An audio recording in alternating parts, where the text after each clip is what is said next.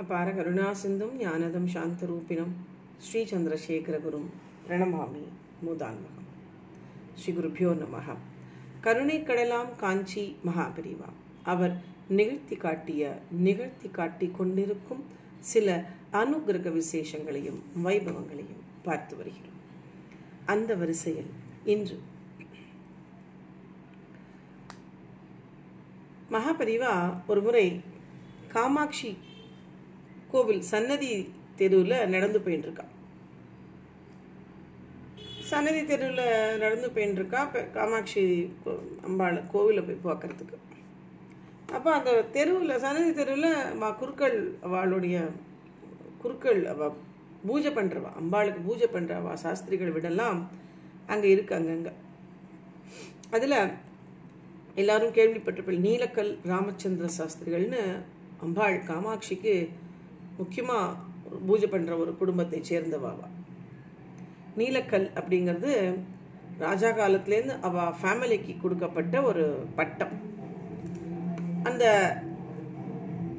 அவர் பெரியவா முன்னாடி நமஸ்காரம் பண்ணுறார் வயசாக எடுத்து நமஸ்காரம் பண்ணுறார் அவருக்கு அவருக்கு வயசாகிடுத்து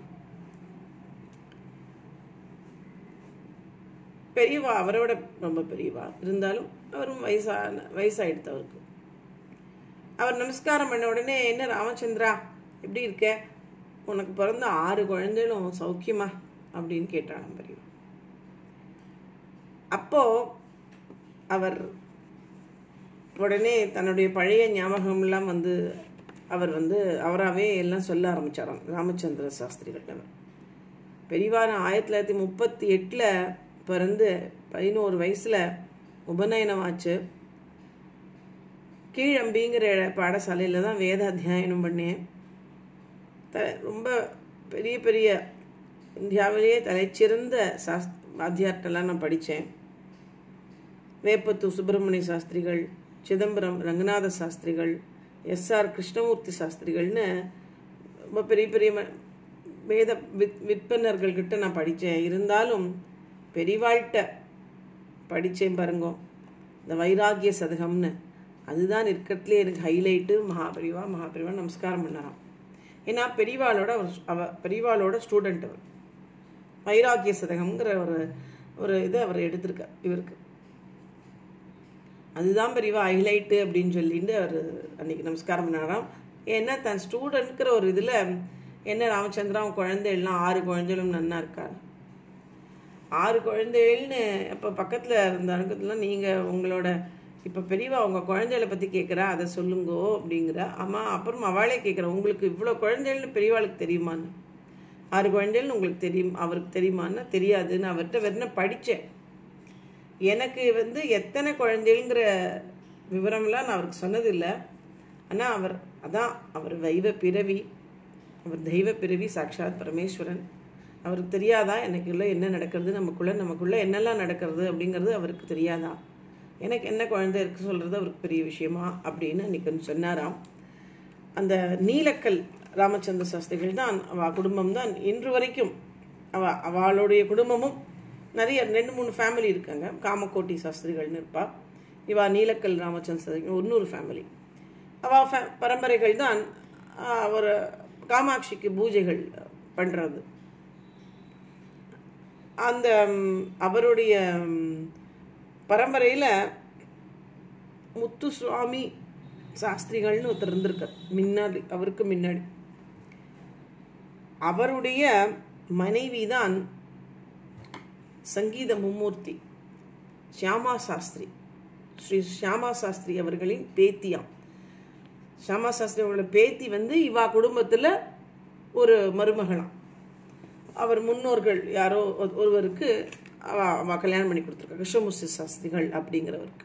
ஷியாமா சாஸ்திரியோட பேத்திய. அந்த மாதிரி அவ பரம்பரையை சேர்ந்தவா. இந்த நீலக்கல் ராமச்சந்திர சாஸ்திரிகள். அவா பெரிவாள்கிட்ட ரொம்ப பக்தி. அவ காமாட்சி கோயிலில் பூஜை பண்ணுறா என்ன மடத்தில் என்ன ஃபங்க்ஷன் ஆகும் எனக்கே தெரியும் அந்த மாமாவை.